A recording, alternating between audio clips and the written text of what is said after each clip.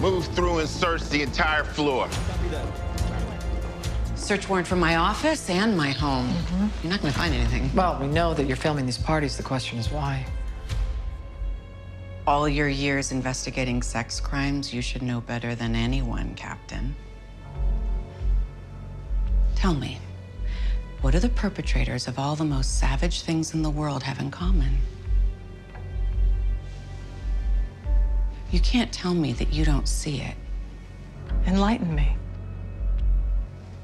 If men disappeared tomorrow, so would war and rape and just about every other ill of mankind.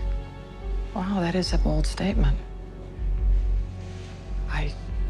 I almost feel sorry for you.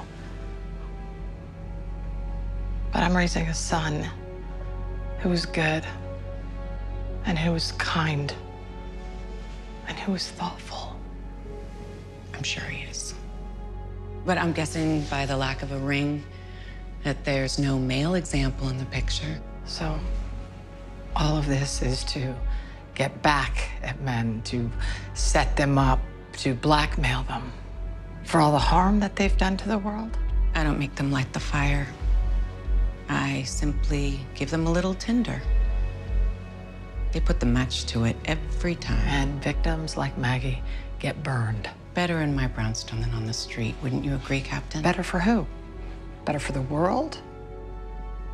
Or better for your portfolio? Why not both? Turn around, you're under arrest. Captain, we found something.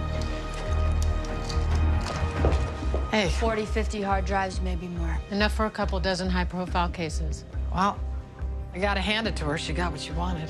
A pair of bracelets you promised? No. The potential to take down half of the most powerful men in New York City.